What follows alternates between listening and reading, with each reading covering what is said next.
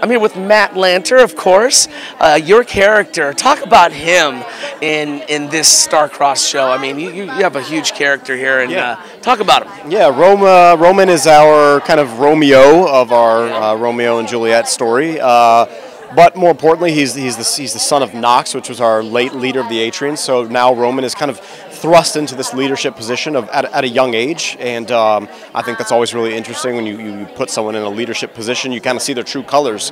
So, you know, Roman is dealing with all of that, with dealing with new love and, and dealing with uh, the weight of the world on his shoulders, which you'll see towards the end of our season, quite literally. Well, not literally the weight of the world. it's a lot of weight. But uh, life and death situations that he's trying to diffuse. Uh, that's a lot for a young guy.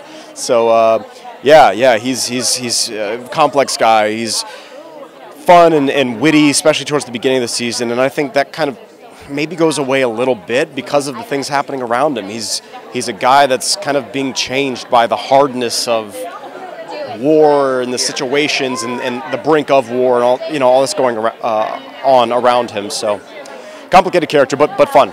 Do you, see, do you see your character evolving in a different direction sometimes? Like you know, like you know, always at the start of the series, you establish the character, Yeah. and then later on, you're like, what? How that? You know, happened? twists Yeah. and turns. Well, yeah, I mean, I, in the pilot, Roman was very kind of light and witty, and we saw him a few times just kind of sarcastic and biting back at some of the you know slurs thrown his way. But um, yeah, I think as we as we go on, you know, he, he definitely kind of, like I mentioned, kind of grows a bit hard in the way that he's got to kind of shield out everything that's going on around him. There's no time for just like young puppy love anymore. It's it's kind of he's got to diffuse, you know, situations that that can mean uh, you know uh, whatever death for his, his entire race. So.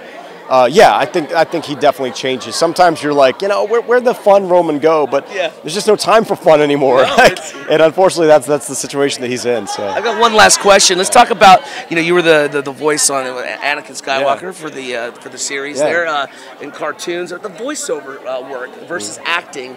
How do they differ for you, and what do you enjoy most? Well, it's voiceover work is still acting at its core. Um, you know, you still got to kind of put yourself in that situation, and um, but I, I guess the differences are are obvious. You're not on set. You don't have props to work with. You're not acting with other people typically.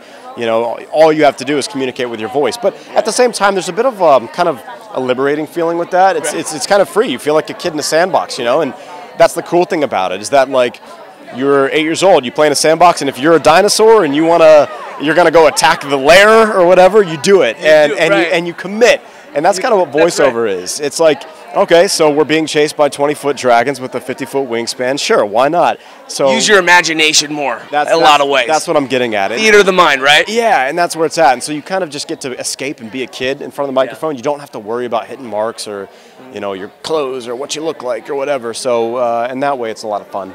Well, thank you for your time. thanks. Enjoy the rest of WonderCon. Appreciate All it. All right. So much.